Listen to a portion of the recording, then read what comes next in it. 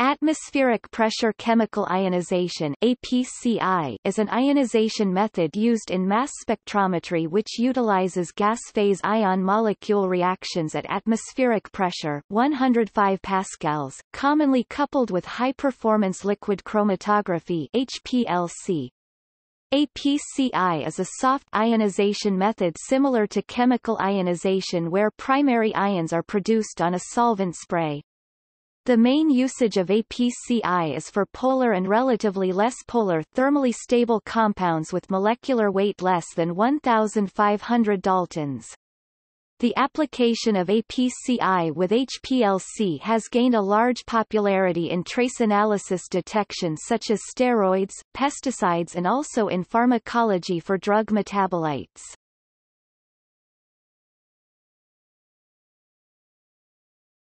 Topic. Instrument structure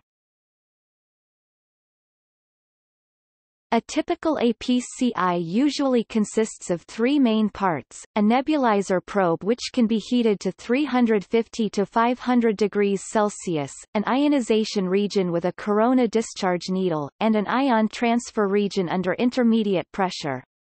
The analyte in solution is introduced from a direct inlet probe or a liquid chromatography LC eluate into a pneumatic nebulizer with a flow rate 0.2 to 2.0 milliliters per minute. In the heated nebulizer, the analyte coaxially flows with nebulizer N2 gas to produce a mist of fine droplets. By the combination effects of heat and gas flow, the emerged mist is converted into a gas stream.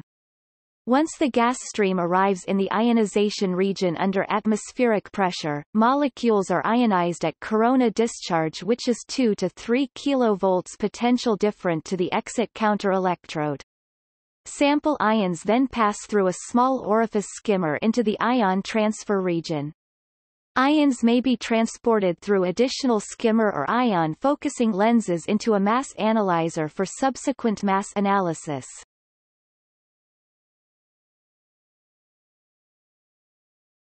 Topic. Ionization mechanism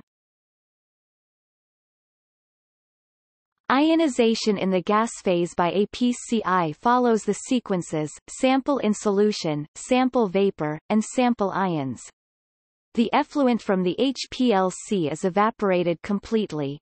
The mixture of solvent and sample vapor is then ionized by ion-molecule reaction. The ionization can either be carried out in positive or negative ionization mode. In the positive mode, the relative proton affinities of the reactant ions and the gaseous analyte molecules allow either proton transfer or adduction of reactant gas ions to produce the ions M plus H plus of the molecular species. In the negative mode, M-H ions are produced by either proton abstraction, or M plus X ions are produced by anion attachment. Most work on the APCI-MS analysis has been in positive mode. In the positive mode, when the discharge current of corona discharge is 1 to 5 microamperes on the nebulized solvent, N2 gas molecules are excited and ionized, which produce N4 plus asterisk. The evaporated mobile phase of LC acts as the ionization gas and reactant ions. If water is the only solvent in the evaporated mobile phase, the excited nitrogen molecular ions N4 plus asterisk would react with H2O molecules to produce water cluster ions H plus H2O N. Then, analyte molecules M are protonated by the water cluster ions. Finally, the ionization products MH H2O M transfer out from the atmospheric pressure ion source. Declustering removal of water molecules from the protonated analyte molecule of MH H2O M takes place at the high vacuum of the mass analyzer. The analyte molecule ions detected by MS are M plus H plus. The chemical reactions of ionization process are shown below.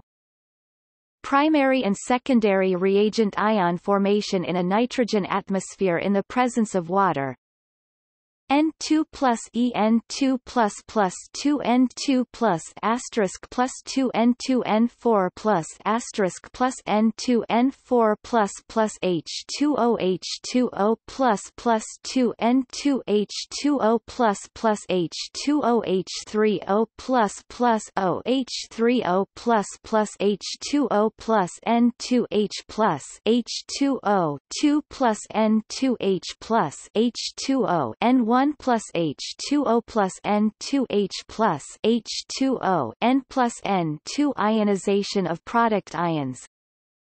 H plus H2O N plus MMH plus H2O M plus NM H2O declustering in the high vacuum of the mass analyzer MH plus H2O MMH plus plus MH2OIF The mobile phase contains solvents with a higher proton affinity than water. Proton transfer reactions take place that lead to protonated the solvent with higher proton affinity.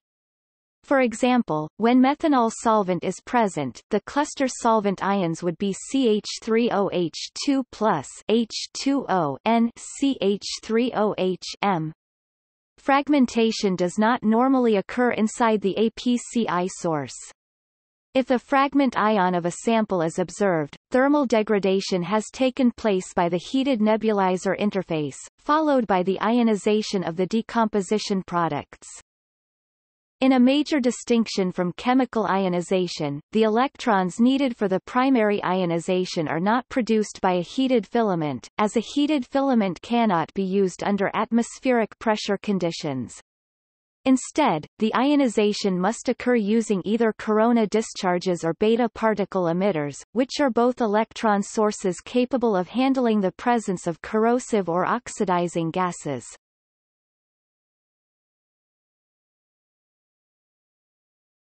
Topic: History The first atmospheric pressure ionization source was developed by Horning, Carroll and their co-works in the 1970s at the Baylor College of Medicine Houston, TX. Initially, 63 Ni foil was used as a source of electrons to perform ionization. Latterly in 1975, corona discharge electrode was developed, which had a larger dynamic response range. APCI with the corona discharge electrode became the model for modern commercially available APCI interfaces. APCI was applied to GC per megasiemens and LC per megasiemens also by Horning's group in 1975. Analyte in LC eluate was vaporized and ionized in a heated block. High sensitivity and simple mass spectra were obtained through this application. In the later decades, the coupling of APCI with LC per megasiemens became famous and caught a lot attention.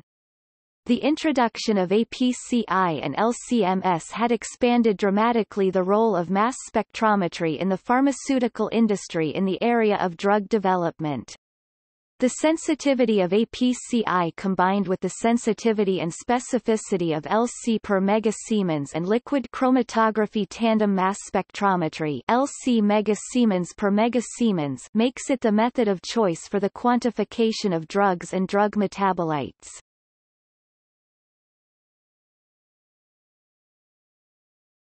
Topic. Advantages Ionization of the substrate is very efficient as it occurs at atmospheric pressure, and thus has a high collision frequency. Additionally, APCI considerably reduces the thermal decomposition of the analyte because of the rapid desolvation and vaporization of the droplets in the initial stages of the ionization. This combination of factors most typically results in the production of ions of the molecular species with fewer fragmentations than many other ionization methods, making it a soft ionization method. Another advantage to using APCI over other ionization methods is that it allows for the high flow rates typical of standard bore HPLC 0.2 to 2.0 milliliters per minute to be used directly, often without diverting the larger fraction of volume to waste Additionally, APCI can often be performed in a modified ESI source. The ionization occurs in the gas phase, unlike ESI, where the ionization occurs in the liquid phase. A potential advantage of APCI is that it is possible to use a nonpolar solvent as a mobile phase solution, instead of a polar solvent, because the solvent and molecules of interest are converted to a gaseous state before reaching the corona discharge needle.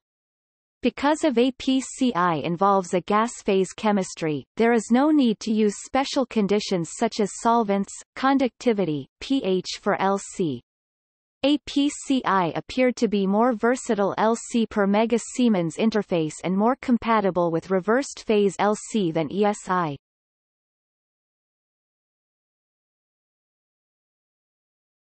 Topic. Application APCI is sweet for thermal stable samples with low to medium less than 1500 daltons molecular weight and medium to high polarity. The application area of APCI is the analysis of drugs, nonpolar lipids, natural compounds, pesticides and various organic compounds, but limited to the analysis of biopolymers, organometallics, ionic compounds and other labile analytes.